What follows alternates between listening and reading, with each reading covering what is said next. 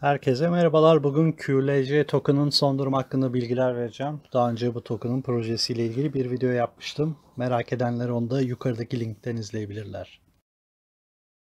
QLC BTC işlem çiftinin bir günlük teknik analiz özetine baktığımızda sinyaller alım yapılması yönünde gözüküyor. Güncel QLC token değeri ise 0.014 dolar civarlarında son 24 saatte fiyatında %4'lük bir gerileme oldu.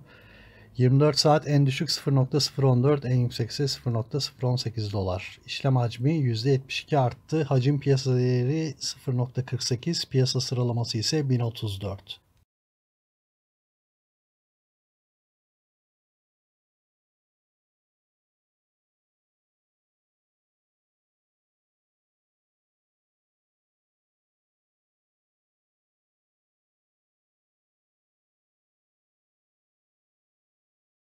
Eğer siz de QLC token almak istiyorsanız açıklamada verdiğim linke tıklayarak üye olabilir, alım satım yapabilirsiniz. Ayrıca üye olurken %20 komisyon indiriminden de faydalanabilirsiniz.